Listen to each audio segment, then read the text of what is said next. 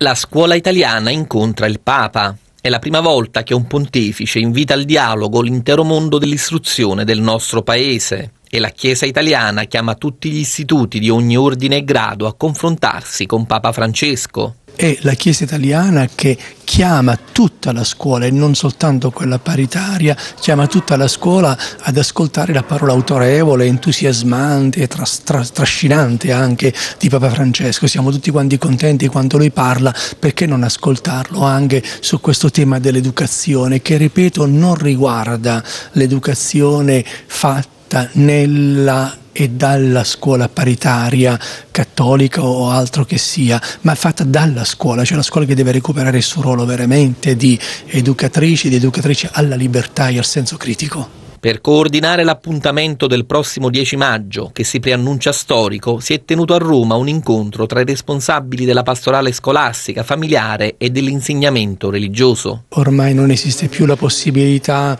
di affrontare dei temi come quello della scuola o come quello dell'educazione eh, in maniera parcellizzata, cioè ognuno che cerca di fare quello che può e quando può e come può. Ormai o veramente, o per fortuna meglio, o ci mettiamo insieme o, ci, o creiamo sinergie sinergie oppure i nostri sforzi vanno tutti quanti in direzioni ahimè contrapposte, quindi finiscono col fare il gioco del nemico, e cioè il gioco del nulla, il gioco delle ideologie, il gioco della non formazione, il gioco della non educazione.